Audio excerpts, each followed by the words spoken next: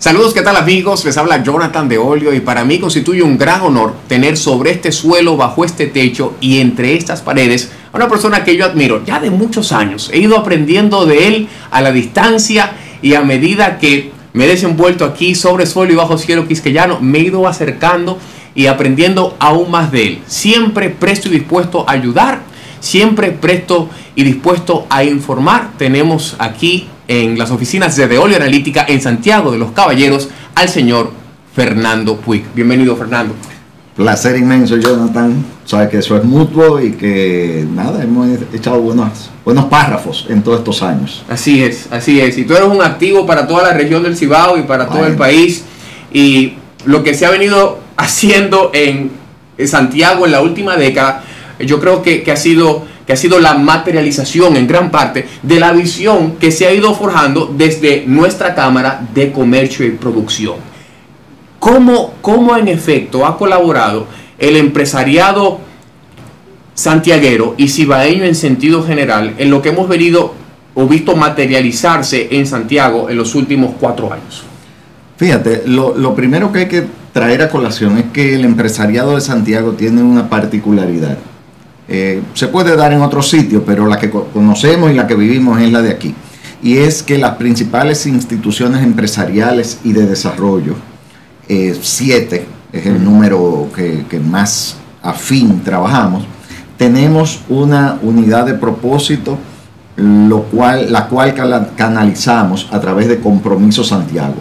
Compromiso Santiago es un espacio de unidad de criterio, de unidad de solicitud, de unidad de identificar prioridades. Y eh, bueno, ahí se, se, incluyen la Cámara de Comercio y Producción de Santiago, la Asociación de Industriales de la Región Norte, la Asociación de Comerciantes Industriales ASIS, el Consejo para el Desarrollo Estratégico de Santiago, la Asociación para el Desarrollo, APEDI, la Corporación Zona Franca Santiago, y la Asociación de Empresas de Zona Franca del Cibao. O sea, somos siete instituciones que durante muchos años, eh, esto empezó de hecho antes del 2010, mm.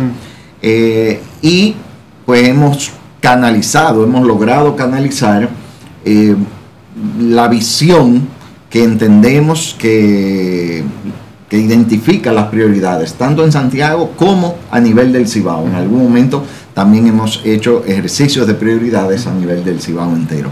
Y eso es importante porque eso, eh, así, cuando compartimos con personas de, otros, de otras provincias, dicen, no, porque usted en Santiago, y es básicamente el reflejo de compromiso Santiago el que ellos ven, el que se ve. Cada institución tiene su vida propia, tiene su propio criterio, tiene su propia eh, necesidades y prioridades, pero cuando se trata de Santiago y de la región, se nos ha hecho, digamos, fácil unificar, eh, eh, unificarnos en una sola voz. Y esa palabra que mencionaste, unidad, es clave, porque no tenemos uniformidad, sino que hemos ido buscando, según lo que puedo apreciar, unidad en la diversidad de esa infraestructura organizacional de las siete entidades que bien y y eso es lo que da fuerza para plantearle cosas a un gobierno que ya era propenso a Santiago, pero encontró receptividad. Correcto, correcto. El primer consejo de gobierno fue aquí, en el 20, en septiembre. Siempre ha habido una queja de que lo que aporta Santiago al Producto Interno Bruto no necesariamente se le retribuye en términos de inversión. Yo creo que en los últimos cuatro años eh, se ha pagado parcialmente, parcialmente, una deuda acumulada. Ese, es un tema, eh, mira, ese es un tema, porque no hay data que avale, que no sea en base a, suposiciones, pero, pero ese, ese, ese lo discutimos fuera de cámara. Porque, porque es que no hay estadística. Mm. En ninguna parte hay, hay, formas de hacerlo, pero tiene que haber una voluntad para eso. En según yo estuve investigando con el subdirector de, la ONE, de la Oficina Nacional de Estadística, eh, que por cierto me dijo, no podemos hacer un Zoom esta tarde, no, esta tarde no, mañana. Eh, en todas partes del mundo, las empresas se computan lo que pagan, lo que tributan, donde declaran. Entonces es una distorsión. Porque si tú tienes el supermercado nacional con 15 establecimientos en el país entero, pero declara en la capital. o Brugal o Elion Jiménez. o sea, entonces eso es una distorsión. Claro, claro. Y, y hay varias formas de hacerlo. Yo había pensado en una un poquito compleja, que es que a través del registro mercantil, porque es el que tenía yo más cerca, me dice, si el Nacional tiene mil empleados, ok, pero tiene 100 en Santiago, por lo que tributa, vamos a ponerle un, un 10% a Santiago. Pero esa, para eso hay que requerir en el registro la distribución por, por, por zona, por geografía. Pero hay una mucho más fácil, Mm. la TCS. La TCS. ¿Dónde tú tienes inscrita tu gente? ¿Dónde que, dónde que están esos 10 empleados? Ah, en Santiago. Pues ya.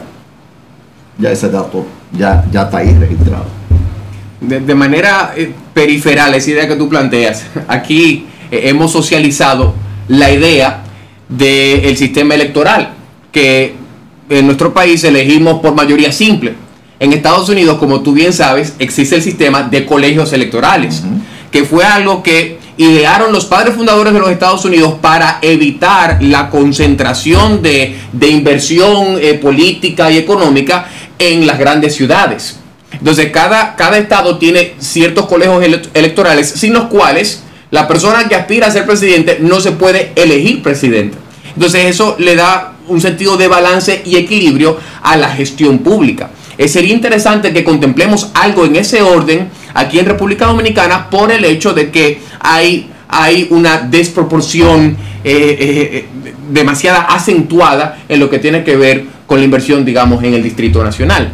Eh, respecto de la integración de Santiago con las demás provincias del Cibao y quisiera también atreverme a hablar del sur, porque yo soy de Olio, mi papá era de San Juan de la Maguana y soy Puig por mi mamá que era de Puerto Plata y en virtud de esas raíces que dieron origen a este servidor, yo quisiera ver una integración más interesante entre, entre ambas regiones. Y a veces pensamos en el sur y pensamos en una región bien distante, pero cuando, cuando vemos el mapa, estimadísimo Fernando, vemos que Santiago colinda con San Juan de la Maguana, por ahí por, por Sajoma.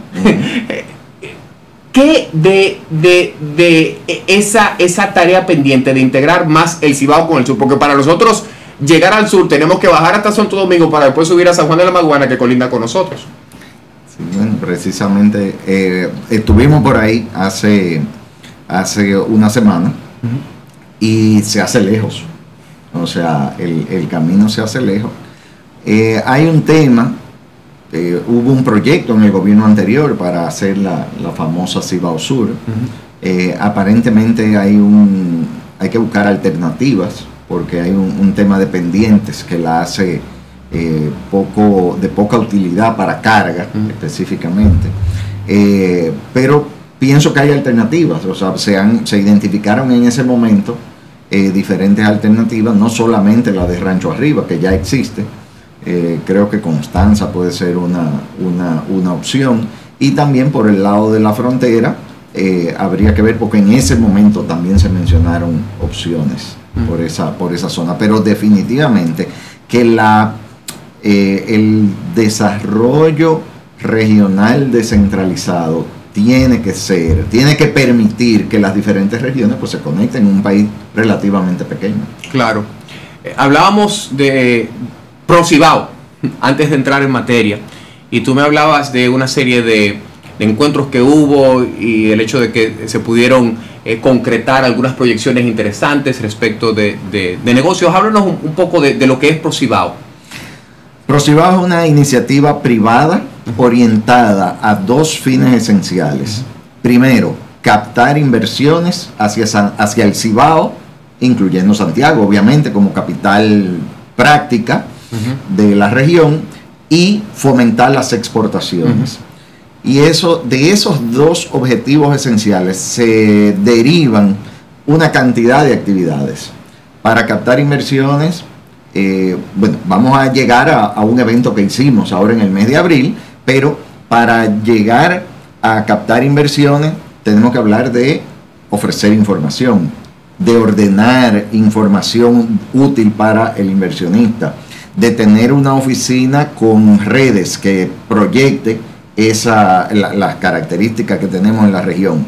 Para fomentar exportaciones tenemos que hablar de certificaciones, tenemos que hablar de cultura exportadora, tenemos que hablar de eh, promover en, en el productor la exportación, sabiendo que esa es la única salida que tiene República Dominicana de frenar el endeudamiento y de pagar lo que ya debemos también, o sea, es exportar, o sea, mientras no exportemos agregándole valor a esos productos primarios, pues eh, eh, vamos a tener que seguir en, esa vorágine de endeudamiento que, que, traemos hace muchos años. Y del subdesarrollo como tal. Correcto. Qué bueno, que necesitamos más iniciativas así, porque fíjense, los grandes capitales tradicionales en República Dominicana se han creado sobre la base de las importaciones ¿Dónde está, la, ¿Dónde está la concentración de riqueza en República Dominicana? Bueno, en la mano en las manos de los importadores. Y necesitamos importaciones porque las importaciones son la materia prima de lo que nosotros pudiéramos en efecto aquí transformar de producto primario a producto con valor agregado. Pero necesitamos un equilibrio. Correcto. Y en ese sentido, desde, desde el punto de vista económico, yo siempre he visto, corrígeme si estoy en lo incorrecto, que la política monetaria siempre ha favorecido al importador al importador, y al consumo. Eh, y el consumo se traduce en importación, o sea, van de la mano.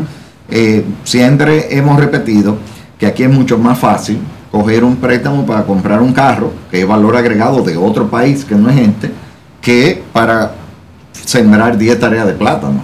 O sea, el, carro te lo financian de una vez y a, tasa, a, la, más, a la tasa más baja. El, el agricultor eh, o el productor en sentido general va a pasar trabajo y va a tener que buscar mucha garantía. Pero tal vez siguiendo con, la, con, el, con el proyecto de ProCibao, como te decía, eh, el mes pasado, eh, en este mes de abril tuvimos una iniciativa de celebrar el primer encuentro ProCibao eh, con la experiencia que tiene la Cámara de Comercio y Producción de Santiago, celebrando Expo desde el año 1988, eh, habíamos querido introducir, agregarle a Expo el componente internacional. Y al final llegamos a la conclusión que era más fácil hacer un segundo evento al año, de otra orientación, no dirigido al consumidor final, no dirigido a asistencia masiva, sino dirigido al exportador, al inversionista y a atraer personas claves, para lo cual eh, tuvimos el apoyo de Pro Dominicana, porque su función es exactamente eso, inversiones y exportaciones, y logramos hacer el primer evento Pro eh, como dije, en el mes de abril. Para nosotros fue un rotundo éxito. Y sobre todo, y sobre todo, en mi opinión, en mi humilde opinión personal, constituye el principal, la principal iniciativa empresarial de las últimas décadas en Santiago.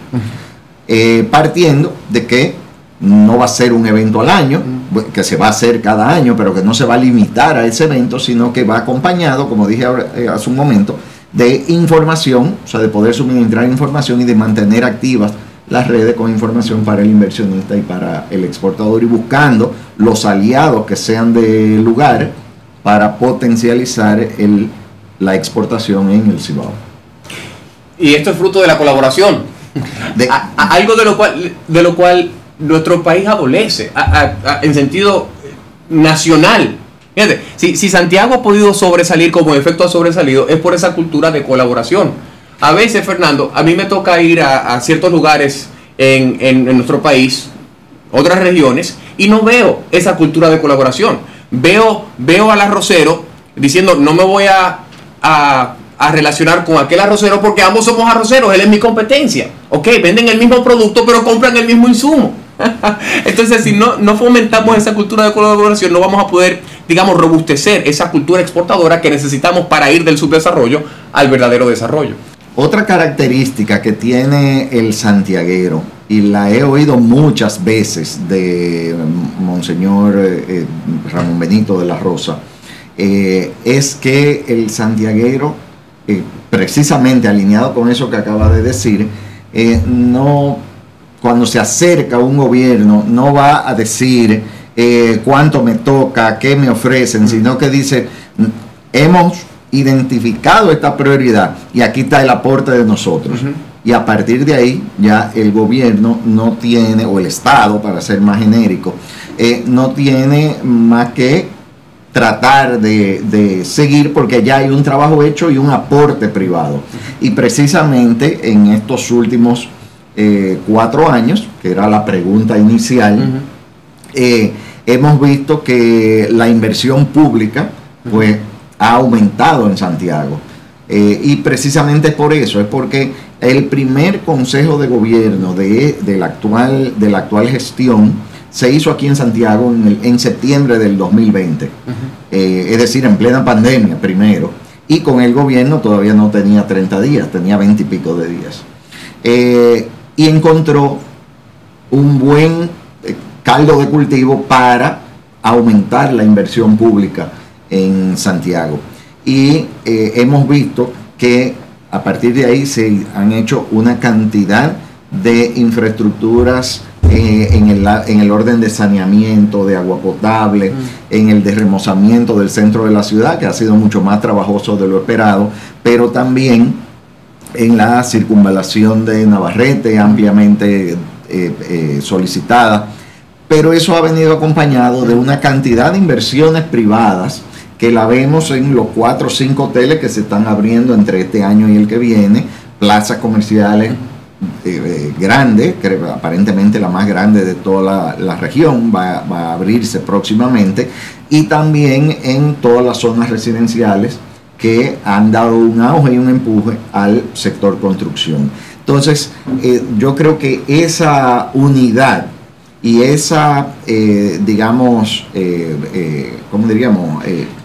Orientación hacia la inversión privada, pues eh, está dando su fruto. Vemos que, por ejemplo, el sector zona franca, que es esencialmente privado, ahora mismo no hay una nave disponible. O sea, prácticamente todos los parques de Santiago y su entorno directo están llenos.